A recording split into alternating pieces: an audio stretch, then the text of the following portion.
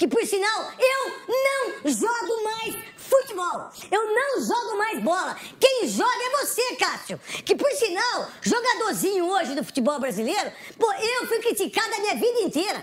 Gordo, marceneiro, é? Não era nem mercenário, era marceneiro. Né? Ai, seu vagabundo, seu bêbado, maconheiro. Maconheiro, então, era qualquer maconheiro. Seu maconheiro, maconheiro. Você não joga nada. Pô, você só come lanche, você toma caldo de cana. Hoje, jogador de futebol, jogador de futebol não dá entrevista. Não se responsabiliza pelos atos profissionais dentro do campo. Jogador tem a obrigação de falar com a imprensa e de falar com o torcedor. Ó, eu tomei um frango.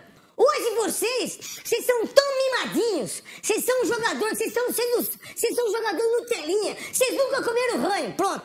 Vocês de hoje, vocês nunca foram na encruzilhada. Vocês não sabem o que o torcedor sofre. O torcedor hoje Nutella, que fica lá se mostrando, se autoflagelando, uns narcisistas do cacete, diga-se de passagem, vocês ficam lá, vocês não olham o jogo. Vocês não vê se o, se o lateral saiu um pouco mais, você não vê se o zagueiro tá marcando certo, você não vê se o seu lateral cruza a bola direita,